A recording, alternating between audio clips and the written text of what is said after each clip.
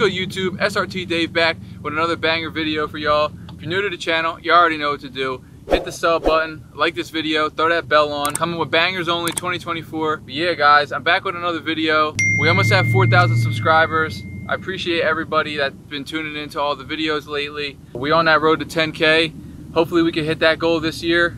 That's one of my 2024 goals is to hit 10K subs. So make sure you share the video with your friends. And if you learned something, let me know down in the comments. We're gonna talk about why the SRT8 is the perfect first car. This is like my third car now. First car I had, actually I don't think I ever went over this, but first car I ever had was a 1997 Chrysler LHS. And then the second car I had was a 2013 Kia Optima. That is the car that my brother currently drives. I mentioned that on this channel before, but yeah, that's the car my brother drives. And then now we, we obviously in the 2009 Challenger SRT8.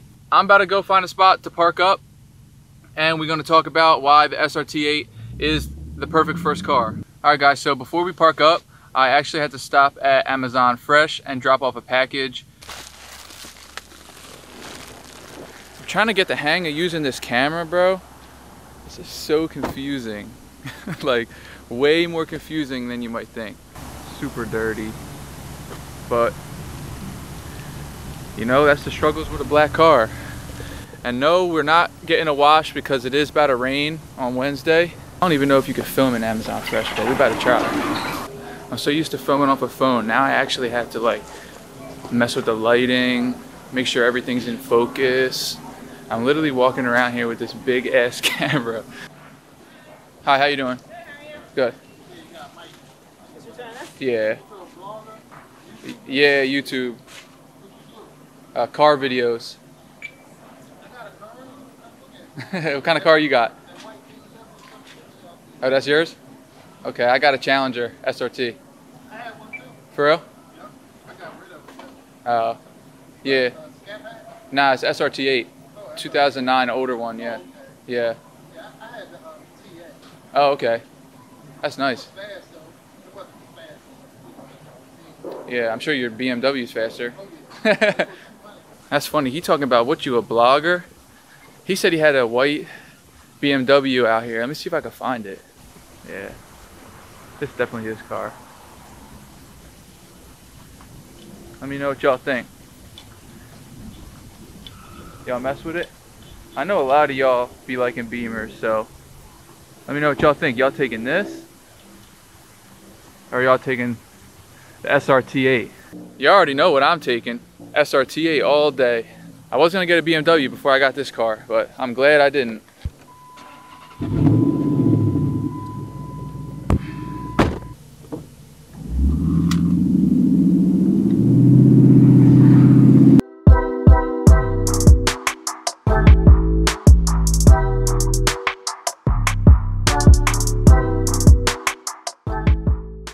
All right guys, so let me just start off by saying I would 100% recommend an SRT8 as a first car.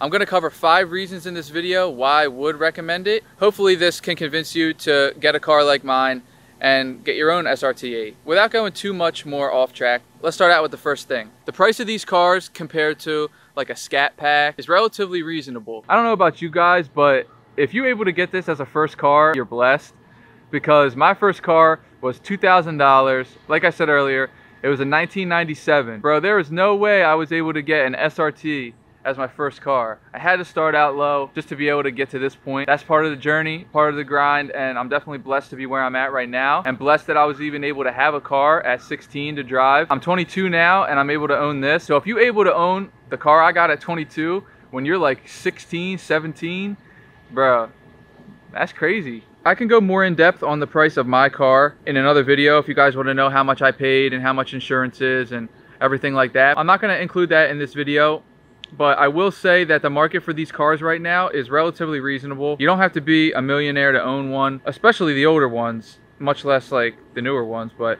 relative to the newer ones, these cars can be picked up for about like 20 grand, I would say now. 20 grand is gonna give you a little $400 payment probably. So if you can make the payment, you feel me? Definitely a, a, sweet car to have. I wouldn't go broke trying to have an SRT as your first car. Just definitely got to be smart. But in terms of like starting from the bottom and like leveling up, there's definitely room for growth if you do choose to get this as your first car. So for 20 grand, you could get 425 horsepower and you get to drive around an SRT. I don't really know how you could beat that. For, I would say, half the price of a Scat Pack, you could get an SRT8 and be just as happy. As you guys know, the 6.1 is relatively more mod friendly. So if you plan on modding your car, you know, or you just want an SRT and don't want to pay the SRT price, then the SRT8 is definitely a great option, especially because you can literally make it look like a newer car if you want to by swapping out the bumper or by adding new rims like I did or by switching out the headlights to some LEDs. You know, there's a lot of different stuff you could do to make the car look newer, even though it is uh, 2009. The price is relatively fair for these cars. So if you see one with pretty low miles and around that 20k price point I would say definitely jump on that offer. The second reason why I think the SRT8 is a good first car is because of the look. Compared to a lot of other people's first cars, bro, you driving around in a muscle car. You driving around in a V8 as your first car. Like, that's crazy. You be whipping around in a Challenger. Who else having this as their first car? Just look at this thing. You got the aggressive look, you got plenty of enough speed for your first car, and you got the muscle car sound, and you got the reliability. What else more could you ask for in a first car? Okay, so that kind of leads me into the third thing, which would be the performance of the car. For a 16 or 17 year old, 425 horsepower is plenty. It's still gonna sit you back in your seat a little bit, you know, not obviously not as much as like 700 horsepower, but 425 horsepower is plenty. Social media has made everybody think that if your car is not 600, 700, 800, 1000 horsepower, that is slow. 425 horsepower, especially for a car in 2009, was fast. You're gonna be able to keep up, if not beat a lot of other cars out there on the road. That being said, you, you gotta make sure that you don't go too crazy because you can get hurt in a car like this. Being able to have this amount of horsepower as your first car will definitely humble you with that being said, make sure you do drive careful and learn your car before you start to attempt anything that's risky. Once you get comfortable in it, you'll realize how much faster it is than like a regular economy car. Like I said, I had a Kia. When I first had that and then jumped to this, I felt like this was insanely fast. You're gonna be more than happy with the speed that you get out of this car. The next thing I wanna touch on is the reliability of these cars. I've had this thing for about two years. It's given me little to no problems. All I've done was brake maintenance, oil changes, and just the regular wear and tear stuff on this car. Knock on wood, I've had no major problems with it. You feel me? This thing gets me through the winter, spring, summer, gets me through every season. I've taken it on long trips, you know, driving two hours, three hours. When you get on it, you're able to go fast and then you're also able to slow it down and just cruise. So yeah, if you're looking for a first car, you know, you obviously want it to be reliable. That's one of the main things that you look for because you don't want to just buy a car and have it be a money pit. You want to learn the car, you want to mod it, you want to customize it, whatever the case may be. The last thing I want to cover is the customization aspect of this car. I know I always say it, but this is a 2009 and it does not look like a 2009. There's so much you can do to these cars to put your own little touch on it. You can change the color of the front lights, you can swap everything, you can get rims, you feel me? You can do spoilers, you can do diffusers, you could do exhaust tips. You can do a lot to these cars to make it your own and put your own little personal touch on it. I think that's very important in a first car because that's the way I got into cars. Even though I didn't start with this, I started with the Kia. I sprayed the rims black.